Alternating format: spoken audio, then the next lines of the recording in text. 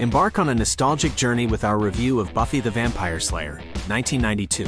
Directed by Fran Rubel Kuzui. Before Buffy staked her claim on television, she had her cinematic debut. Kristy Swanson stars as the titular character, a cheerleader chosen to battle vampires. Join us as we explore the origins of the cult phenomenon, from its 90s charm to its campy take on the horror genre.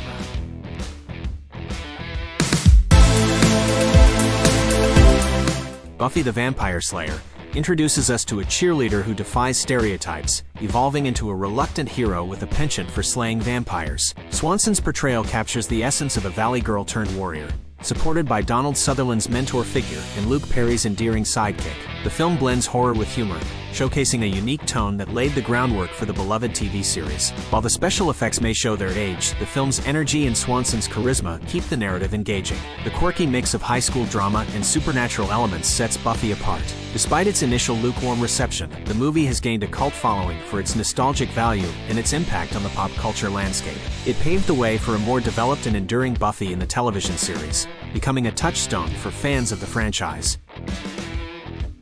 After careful consideration, Buffy the Vampire Slayer, 1992, receives a nostalgic 70% rating. While it may not have achieved blockbuster success, its cult status and influence on the future TV series make it a noteworthy piece of 90s cinema.